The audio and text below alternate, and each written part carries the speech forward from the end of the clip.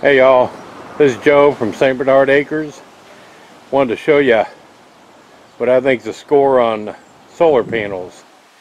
Now, one of the things to keep in mind that I think people are getting confused with, the cabin is a cabin.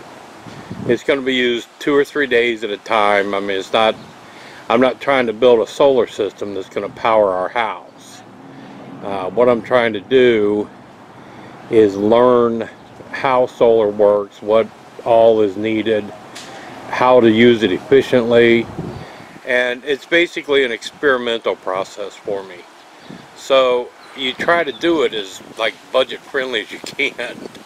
You know, if I'm going to burn something up or screw up and make a mistake, I don't want to do it with, you know, high dollar brand new equipment. So what these are, you know, you saw the batteries I bought. Uh, they were two-year-old batteries and I got them for a heck of a good deal. So I got 408 amp hour batteries. These four solar panels these are 120 watts each 12 volt 120 watt solar panels. Uh, they have a, a, thing in them called blocking diodes uh, I guess if part of the panel's in shade, it seems to affect a lot of the panel. Well, with these blocking diodes, it doesn't do that. I guess it doesn't have an effect on it. But these aren't really used. They're older, uh, but they're, I guess you would call them new old stock. Um, they've never been installed anywhere. And I paid $80 a piece for them. So I got 480 watts of solar for $320. And I was real pleased with that. Um, it's going to let me learn. It's going to let me get a really nice setup at that cabin uh, with those four batteries and these four solar panels. I've got a 60 amp uh, charge controller. I, it's a PWM. I wish it was MPPT. I wish I could afford a 60 amp MPPT PT charge controller, but you know, $25 charge controller. Again, if I screw it up, it was only a $25 one and not, you know, a $100 one. So the whole game is to learn, experiment, and try not to, to mess up expensive things. And I found this, uh, you know, I found those batteries on the Facebook Marketplace, and I found these on Facebook Marketplace. I mean, you know, I drove 150 miles in one direction to get that deal on batteries. These were actually on the way to St. Bernard Acres.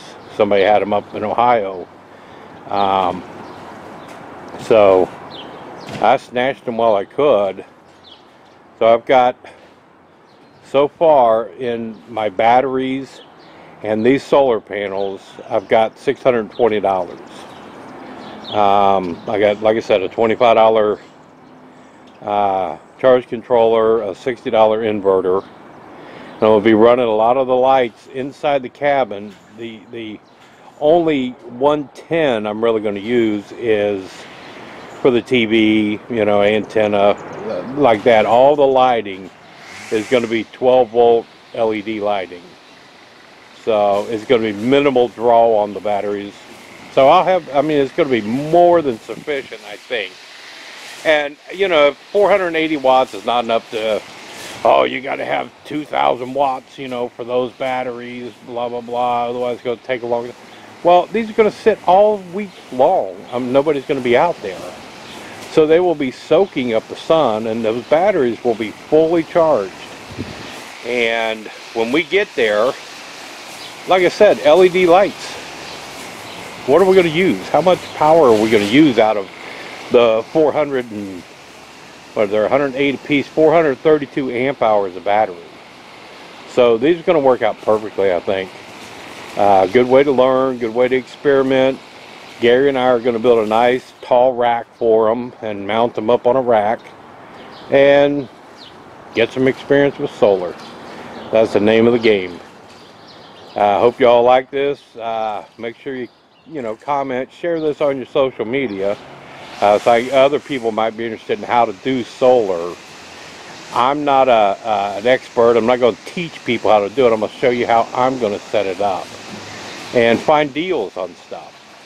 Um, you know, I'm not going to buy pre-made cables. I got to wire all the batteries up in parallel. I'm not going to buy pre-made cables. I'm going to go get, you know, 20 feet of 8 gauge wire and put my own ends on them. I'll show you how to do that kind of stuff. Uh, that I know how to do. And we'll figure out a budget-friendly way to go with solar. Uh, that would be awesome to have this much power and this much storage out there for less than a thousand dollars. I think I can get away with it for less than a thousand dollars. And uh, good for the cabin. But I got to get these things loaded up in the truck now. I went and picked them up in the car. I did not realize they were going to be over five feet tall. You know, I've got two 100 watt solar panels out there that I bought a few years ago that are like half the size. But like I said, these are older. These are probably uh, I'm going to say six years old, eight years old. Uh, like I said, they've never been installed. You can see all the little tabs and everything still on most of them from the packaging. Uh, new old stock. So, hope y'all enjoyed this. Please give it a thumbs up, comment, share, all that kind of stuff. And uh, I'll be talking to you from out the property tomorrow. This is Joe. I'm out.